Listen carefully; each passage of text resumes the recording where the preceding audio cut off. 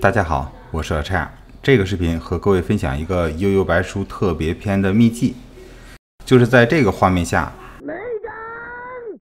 浦饭优助刚喊完灵丸，秘籍成功之后会有一段日文语音，